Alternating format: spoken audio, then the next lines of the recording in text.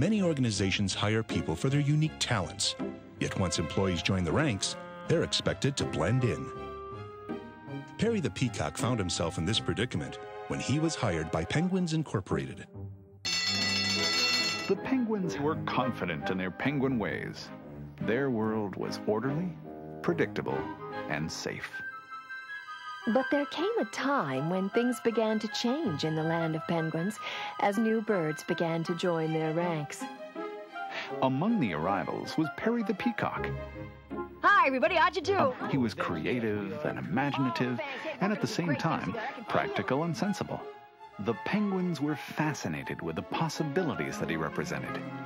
They thought he had real penguin potential.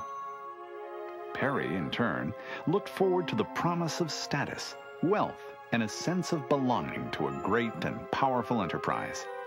He felt certain that his future would be bright in this new land.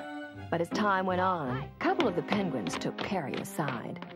Look, Perry, we like your work, but some of the penguins are uncomfortable with you. Why don't you put on a penguin suit so you look more like us? What's wrong with the way I am? Aren't my accomplishments more important than my feathers and my voice? Why do I have to change? The penguins had a dilemma. How much diversity could they tolerate in their land without destroying their proud culture? Why change the style that had made them great? Perry and his friends had a dilemma too. How much should they try to change to fit in?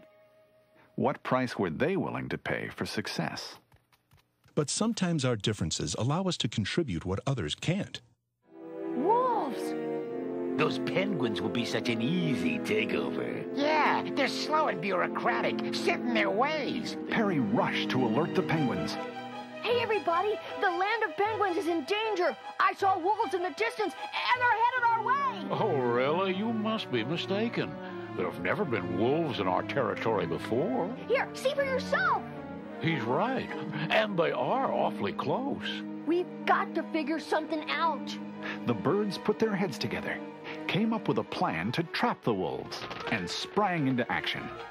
With this best selling video, viewers will see the advantages of diversity and learn to appreciate each other's skills and contributions. Nice tie.